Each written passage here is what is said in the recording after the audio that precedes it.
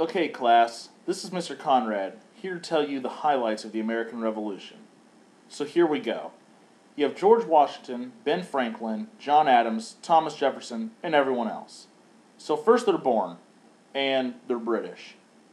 But they were born in America, which were colonies of Britain, so that would make them British. Say what? So King George and Parliament started levying taxes on the colonies, like a lot of taxes. The ones that you should know for the test are the Quartering Act, Tea Act, Sugar Act, and Stamp Act.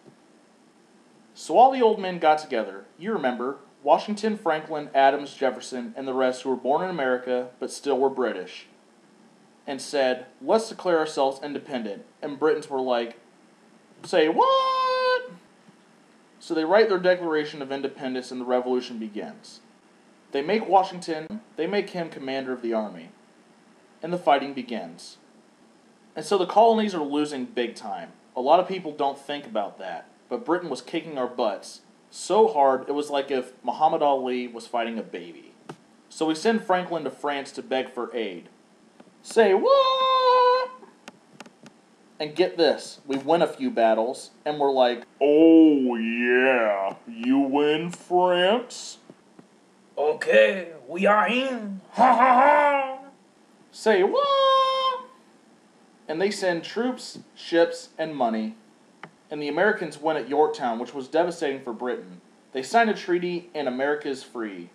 After that, we make our own constitution and levy taxes on ourselves. Say what? I know, right? The very thing we had just fought Britain for, we start doing to ourselves. But it was different because it was taxation with representation. Oh, yeah. Then a couple hundred years pass, and we are still here. Britain is over there. This guy is president because he was born in America and he's not British. And we are like, yeah, boy. And in a nutshell, that is the American Revolution.